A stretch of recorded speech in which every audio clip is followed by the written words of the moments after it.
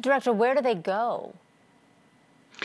They move inside. Some of the people that we have talked with are already on their second place of displacement. The 30% who consider to leave the country, they will leave through the western border, definitely, to the neighboring countries. As you have said in your uh, introduction remarks, 4.4 million have already left Ukraine, not just Ukrainians, but also 213,000 uh, third country nationals from 140 countries all over the world.